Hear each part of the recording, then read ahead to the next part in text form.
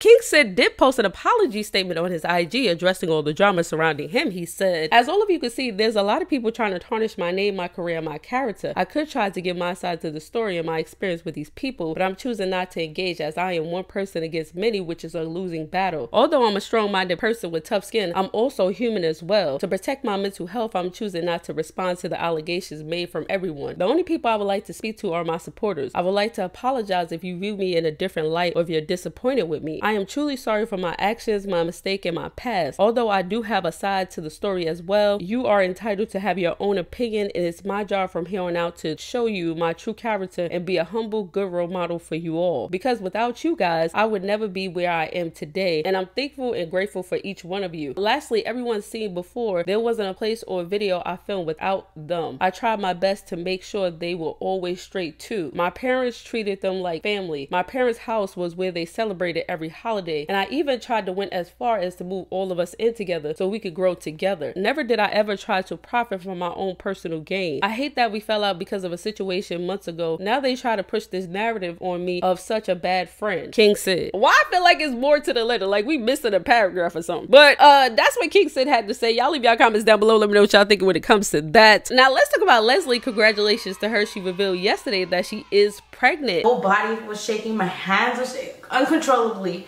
Like I was in total shock. I couldn't believe it. I was like, there's no way that I'm pregnant. How? How is this possible? How how am I pregnant? And I was like, Mom, I'm pregnant, I'm pregnant.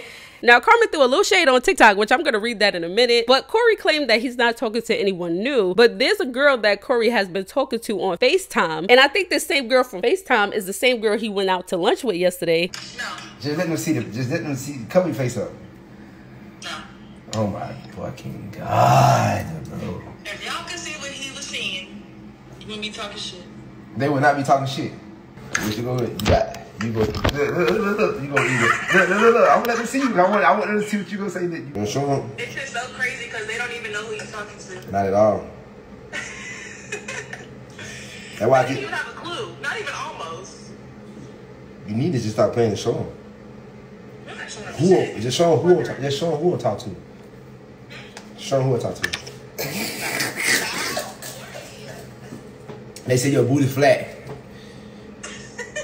They, they say they say they, them, them dead ass. They say your booty flat.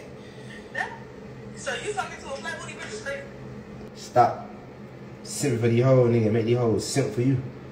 You try you.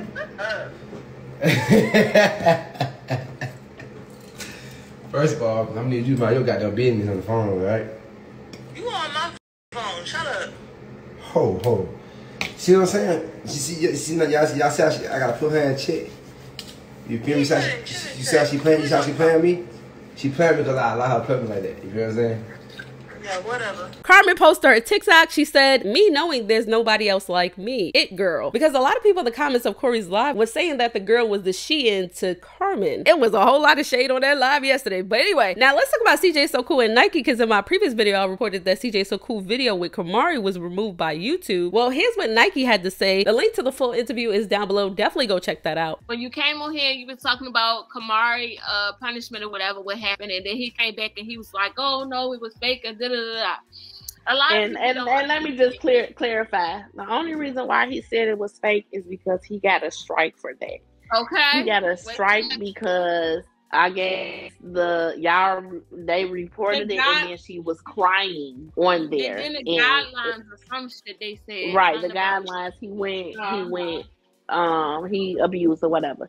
It wasn't that it was fake. It's that's what he said so he could save his channel from a strike and still end up getting a strike. So for those that keep telling me to tell him to post, he can't post because he has a strike from disciplining his Yeah, child. But when he like don't discipline her, or when we don't discipline her, it's like y'all bad parents. She grown, she ghetto, she this, she that. But then when we do is, oh y'all could have kept that off camera. Blase. It's like y'all never satisfied, so I really can't Damn never you ever give a fuck you because don't. That's what I right, I had is to what it is.